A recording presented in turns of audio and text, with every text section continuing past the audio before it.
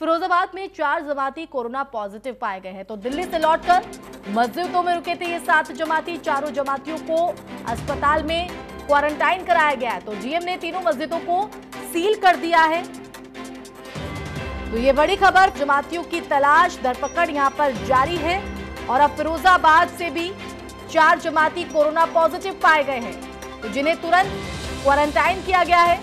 बताया जा रहा है कि दिल्ली से लौटकर मस्जिदों में रुके थे ये सात जमाती। तो अलग अलग मस्जिदों में जाकर ये जमाती छुप गए हैं। लगातार इनसे ये अपील की जा रही है कि वो खुद बाहर आए, लेकिन वो मस्जिदों में छिपे हुए हैं।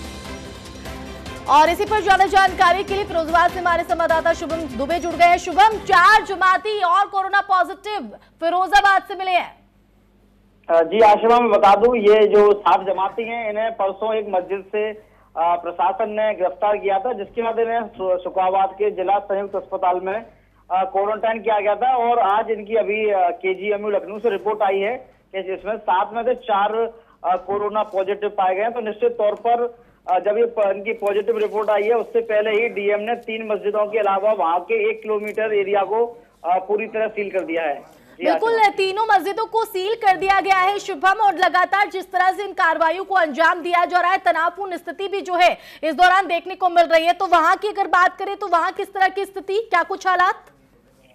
जी मैं बता दूँ जिस एरिया को सील किया गया वहाँ पर प्रशासन और स्वास्थ्य विभाग के काफ़ी मुकम्मल इंतज़ाम है। इसके साथ ही जो आइसोलेटेड वार्ड में जो चार लोग रखे गए तो मामले की गंभीरता को देखते हुए आगरा के मंडलायुक्त और आईजी भी मौके पर मौजूद थे और उन्होंने वहाँ पर व्यवस्थाओं का जायजा लिया है। हम्म। फ़िलहाल जो एक किलोमीटर का क्षेत्र सील किया गया है वहाँ पर स्वास्थ्य विभाग और प्रशासन की तरफ़ से पूरे क्षेत्र को सील करने के बाद व्यवस्थाओं को दुरुस्त रखा गया है। शुक्रिया जुड़ने के लिए शुभम जानकारी देने के लिए। ये चारों हैं ना? जो कन्फर्म है? बस वही को शिफ्ट कराए हम शिफ्ट करा नहीं वो कन्फर्म तो है कन्फर्म हाँ, हाँ तो बस जी। और ये तीन और रह गए वो?